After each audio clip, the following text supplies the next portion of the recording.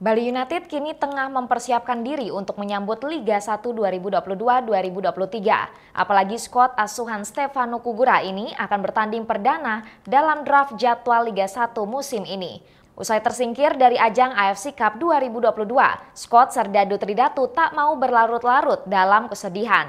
Mereka langsung mengalihkan fokus penuh ke kompetisi kasta tertinggi sepak bola Indonesia ini. Dengan menyandang status sebagai juara bertahan, Bali United tentunya ingin mempertahankan gelar bergengsi tersebut. Dilansir dari situs resmi Bali United, seluruh pemain pun tampak bersemangat melakoni program latihan. Sejak Senin 4 Juli 2022, seluruh tim tampak telah menjalani program latihan fisik jelang Liga 1 musim ini. Asisten pelatih Bali United Antonio Claudio menjelaskan kondisi tim Bali United saat ini. Haryono menderita cedera akibat benturan saat tampil di Piala Presiden melawan Bayangkara FC pada 16 Juni 2022 lalu. Sementara itu Saimima menepi akibat cedera saat sesi latihan pasca libur panjang. Selain itu juga keberadaan Kadek Agung yang masih melakukan pemulihan pasca operasi dari cedera juga belum tampak pada sesi latihan. Dengan waktu jeda kurang lebih selama dua minggu jelang pertandingan pertama Liga pada 23 Juli mendatang, tentu dapat dimanfaatkan sebagai waktu pemulihan fisik para pemain.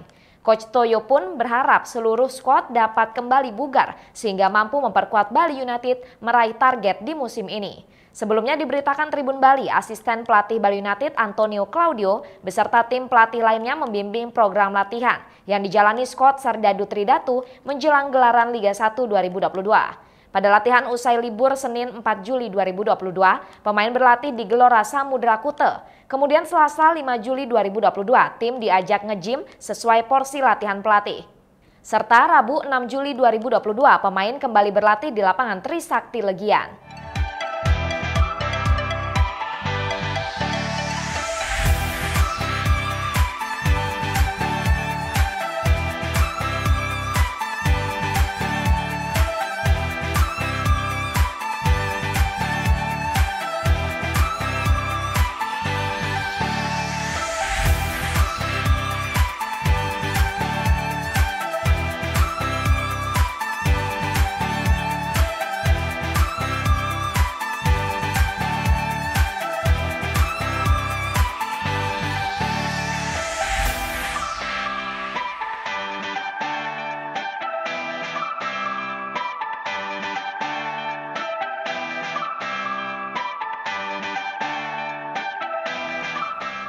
Saksikan terus berita terupdate hanya di YouTube, Facebook, Instagram, dan TikTok Tribun Bali.